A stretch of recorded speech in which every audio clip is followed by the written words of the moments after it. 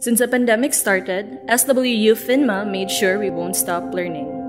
Following the Philippine government's safety measures for COVID 19, SWU implemented the Remote and Distance or RAD learning program, which is 100% home learning. It allows students to continue studying while away from school. It's designed to give us an alternative way to continue education while ensuring our safety and well being.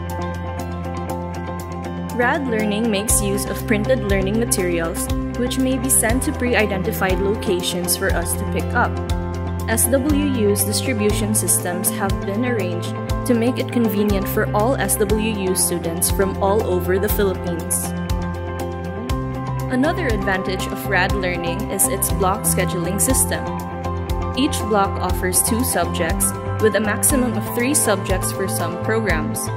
This allows us to focus on learning two to three subjects at a time without compromising the quality of learning. We also get a monthly of 10 gigabyte data allocation to help us get virtual coaching and teacher support.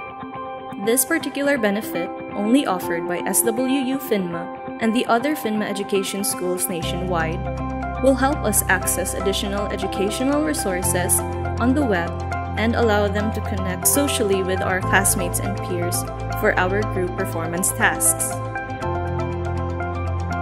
For the school year 2021 to 2022, SWU PHINMA continues to offer RAD learning to their students. RAD learning will allow us to continue studying without disruption. Whatever the distance or limitations, students can continue with their learning journey towards becoming the best with SWU PHINMA's RAD Learning. With RAD Learning, education need not be constrained by extraneous factors and restricted to classroom learning.